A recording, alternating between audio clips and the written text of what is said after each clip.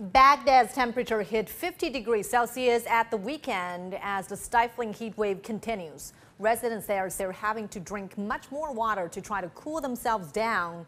And most construction workers are working only at night, and the high temperature is likely to continue for quite some time.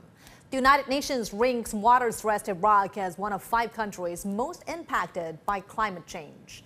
The shore of the Euphrates River at Habbaniyah, about 70 kilometers west of Baghdad, has receded by several dozen meters after four years of drought.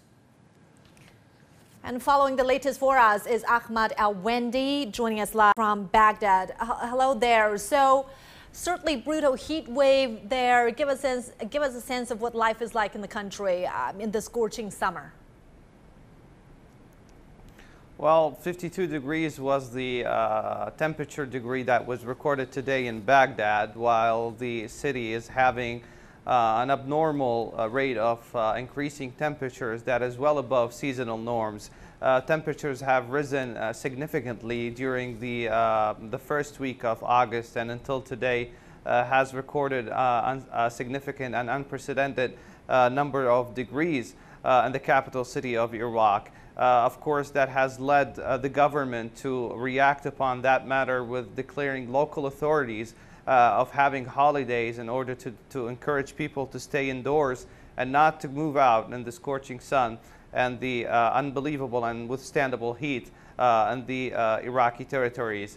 In addition to that, as temperature rises, the concerns also rise in, in terms of uh, having a stable uh, electricity supply, especially with the uh, falling infrastructure of the electricity power grid, has provided